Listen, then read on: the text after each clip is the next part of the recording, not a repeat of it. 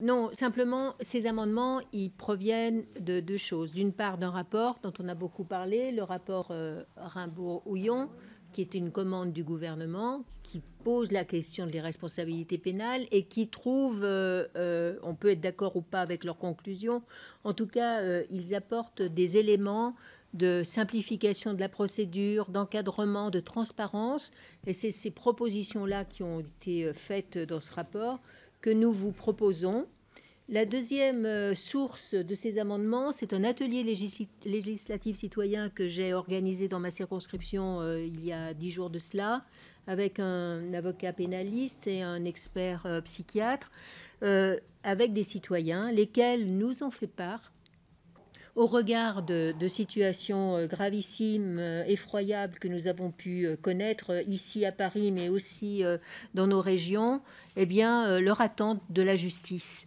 et à ce propos, je voudrais quand même très rapidement, et je, balayerai les amendements, je suppose que pas beaucoup d'entre eux vont, retenir votre attention, mais vous dire que nous avons aussi une affaire effroyable dans ma circonscription.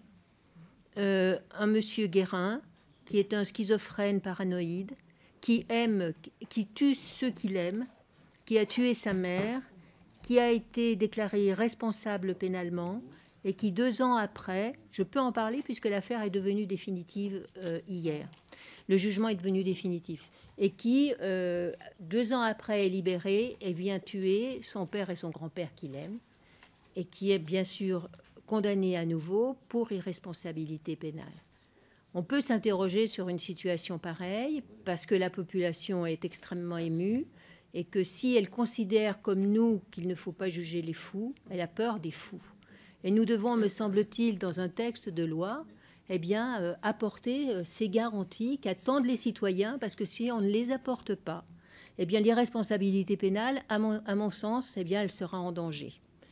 Et euh, je peux vous dire que ces personnes-là, j'ai eu euh, l'avocate qui a géré ce dossier, euh, qui va vous écrire d'ailleurs, monsieur le garde des Sceaux, dans le cadre des États généraux, je vais vivement conseiller de le faire.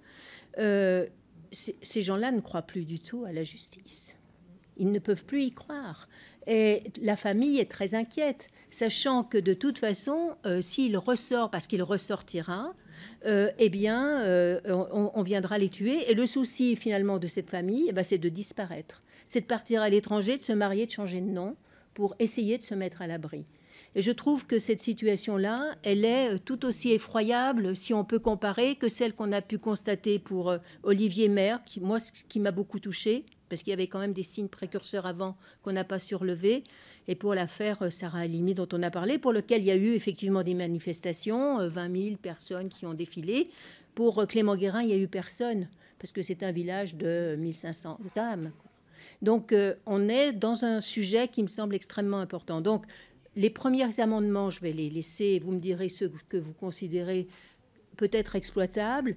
Euh, je ne vais pas les défendre les uns après les autres, simplement vous dire que la majorité d'entre eux, ce sont des propositions du rapport Rimbourg-Houillon pour euh, simplifier les procédures. Et dans la dernière partie, c'est une question qui me paraît extrêmement importante parce qu'elle ressort effectivement de ce travail avec ses citoyens. C'est que la Chambre d'instruction décide de mesures de sûreté. Elle décide de mesures de sûreté, non pas en donnant la main euh, euh, en, prenant la main euh, des, psychiatres, mais en écoutant les psychiatres, en appréciant leurs expertises et en décidant de mesures de sûreté. Ces mesures de sûreté, elles ont été très discutées en 2008. Et en réalité, tout le monde s'accorde à dire que ce sont de très bonnes mesures parce qu'elles permettent de garantir, en fait, et de rassurer la population et en particulier les victimes lorsque l'irresponsabilité pénale a été, a été prononcée.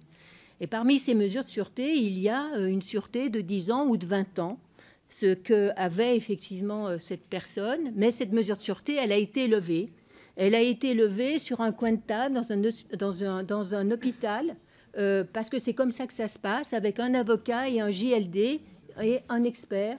Et puis, euh, parce qu'on n'avait pas l'expert, et c'est pour ça que j'ai un amendement en ce sens, parce qu'il n'y avait pas l'expert euh, extérieur, l'expert psychiatre extérieur, qui a pu prononcer dans le délai fixé par la loi son, son, produire son avis, eh bien, le JLDA était dans l'obligation de libérer cette personne. Donc, je pense que ces éléments-là sont des éléments extrêmement importants et nous sommes, nous, législateurs, dans le devoir de, de, prendre acte de ces insuffisances et de les régler. Et la proposition que nous faisons, que nous avons proposée dans le cadre de cet atelier, c'est que la chambre d'instruction qui prononce les mesures de sécurité, de, de sûreté, pardon, au regard d'un avis psychiatrique euh, qu'elle doit apprécier, eh bien cette même chambre d'instruction doit, nous semble-t-il, euh, pour lever ces mesures de sûreté, eh bien à, nouveau se rassembler dans la collégialité et avec euh, un collège d'experts qui s'exprime et qui se prononce. Et il ne s'agit pas de donner la main, comme vous l'avez laissé entendre, Monsieur le Ministre, au, judiciaire, simplement que le judiciaire garde aussi la main en lien avec, le, avec les experts psychiatres. Ce qui a été fait à un moment doit être défait euh, de la même manière. Il nous semble que le parallélisme des formes est un argument juridique fort. Ça change beaucoup les choses. Le procureur que j'ai interrogé était tout à fait favorable à cela. Euh, voilà, je pense que le JLD n'est pas, en mesure, et il n'y a pas de solennité dans la décision. Ça se passe, j'ai participé à des audiences de cette nature, ça se passe dans une pièce de l'hôpital, et il n'y a pas la, la solennité qui doit s'attacher, me semble-t-il, à euh, la levée de mesures de sûreté qui ont été posées à un moment au regard d'une décision d'irresponsabilité pénale qui a été prise. Voilà, c'est tout. J'en reste à ce sujet, mais euh, ça me paraît tout à fait important. C'est peut-être pas l'objet de ce texte. Ça doit être, me semble-t-il, en tout cas l'objet des États généraux.